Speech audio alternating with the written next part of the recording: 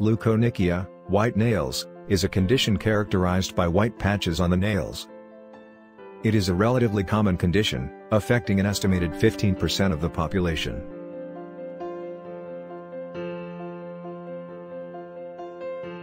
Classification of white nails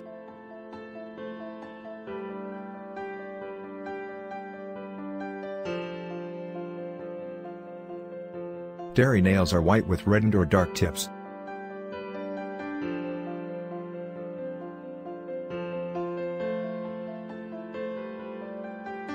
Partial leukonychia has three subtypes, allunula, band, and spot.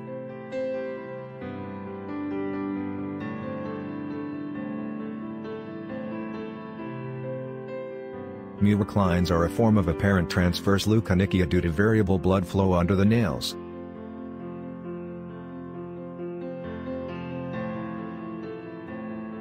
Muloclines are caused by pressure on the nails plate from outside sources, such as tight-fitting shoes or rings.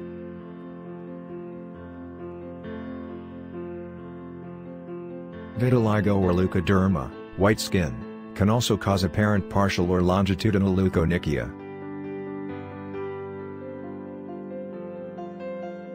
In vitiligo, the lack of melanin in the skin leads to a white discoloration of the nails.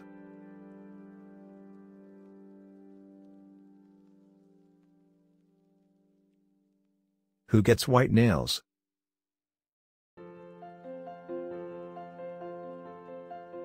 White nails can result from many things, including aging, genetics, and health conditions.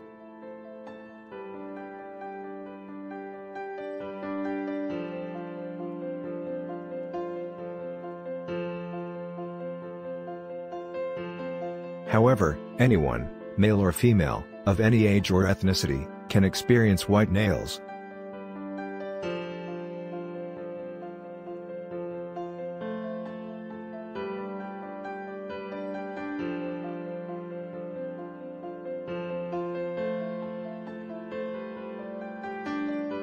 What causes white nails?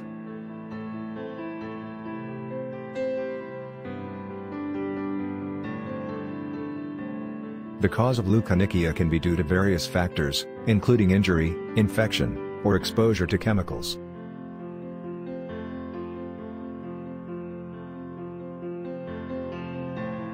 Punctate leukoderma is a specific type of leukoderma that occurs due to trauma to the skin.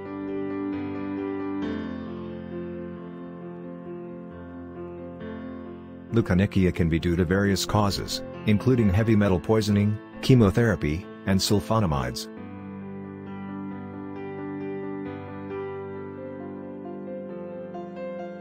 In some cases, total leukonychia is hereditary.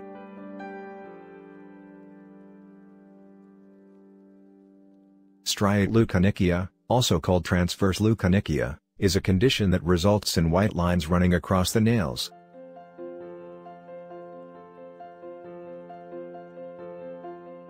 Onychomycosis is a type of fungal infection that can occur on the nails.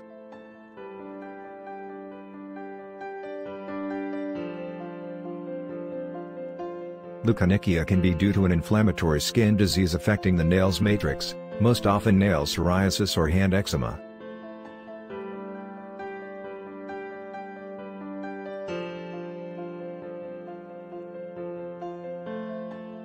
The cause of leukonychia, white nails, is not always clear, but a few tests can help determine the cause.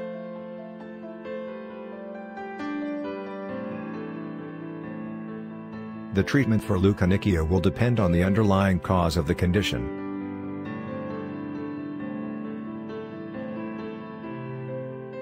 However, in most cases, leukonychia is benign and does not require any treatment.